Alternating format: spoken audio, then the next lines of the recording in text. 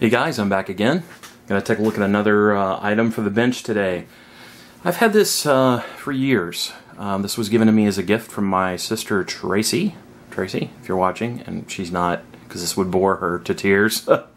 um, she gave me this, goodness, seven or eight years ago, maybe even nine years ago, so I've had this a long time. And it's a luxury item. Um, I've never really used it. I think I'm gonna try, start to try using it. Um, or I'm gonna you know give it a shot. It's got some pretty cool features. That's why I kept uh, coming back to it. And I thought we'd take a look at it. So what we have here is the Tamiya workstand with magnifying lens. This has been a catalog item for them for really years. And it's pretty expensive now. I think when she bought this it was like 75 or 70 bucks. Now they're up around 100 to 100 and a quarter. Um, that's a lot of money for a, an item like this. I understand that.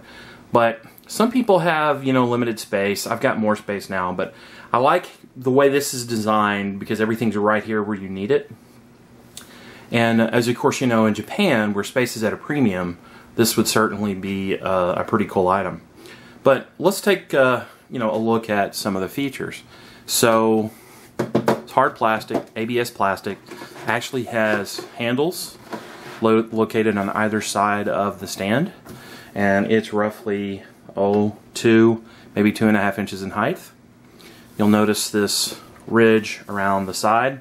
This is to catch um, parts that may go flying off or things that may scoot off and uh, you know get uh, stuck in the carpet monster or hit the floor. Now this little area here is actually very interesting. Let me uh, zoom in for you. Raise the camera just a bit. Sorry, sorry for the shaky camera. This is actually a decaling area. So you fill this with water. You have your decal laying inside the little reservoir with the water. You take a pair of tweezers, you slide the decal sheet over to here, and then slide the decal off. And I have used this before, and you know what? It works. It's actually uh, it's actually pretty useful. So that's built into the unit.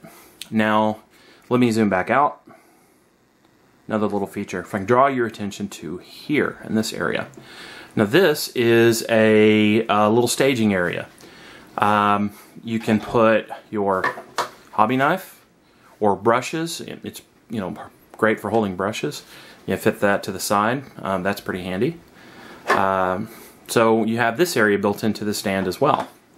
Now the next thing that I, I like. Now this is actually an accessory. I purchased this recently.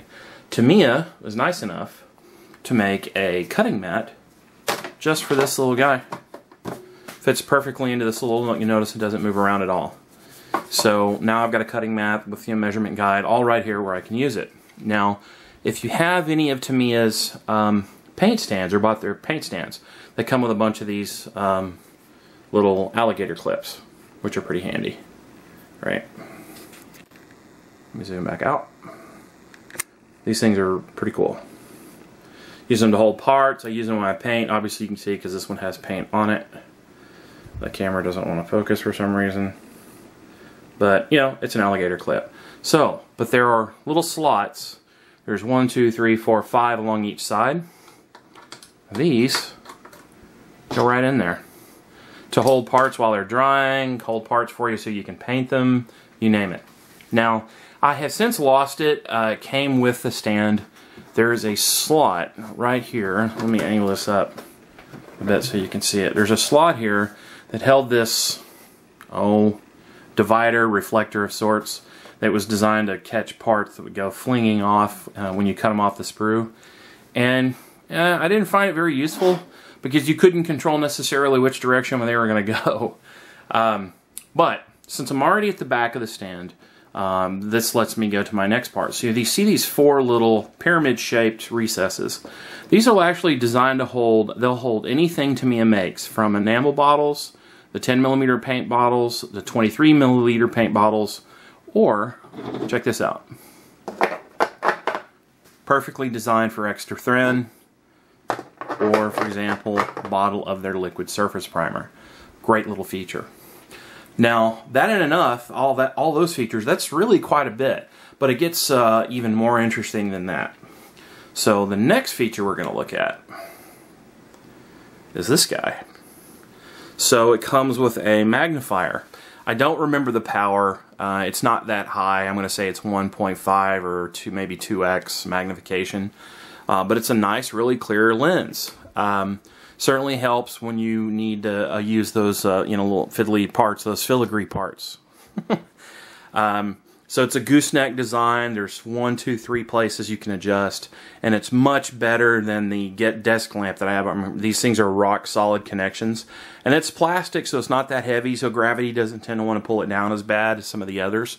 You can also adjust the angle of the lens, as you can see here. Just loosen these, tighten it back up. That's nice. Uh, so there's as you can see, a lot of adjustment in this thing. You can set it up pretty much however you want. You can even rotate the head from left to right this way. So, you have that accessory that's built into this unit as well. And if that's not enough, let me show you this. Let me fold this up. And I'm going to draw your attention to this area right here. Now, what we have here is a set of LED lights. It's pretty cool.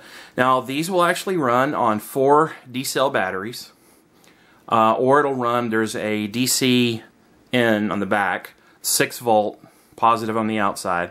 And guys, you can buy a DC adapter cheap. I bought one on eBay for like 8 or 9 bucks with shipping. And uh, comes with one of those universal ones that has all the little different plug sizes on it. It doesn't throw out a ton of light, um, but it's a little bit of extra light where you need it especially you know if you were figure painting or trying to assemble a small part or putting on some photo etch it's going to throw just that little bit of light right where you want it. And uh, I like that. I like that quite a bit.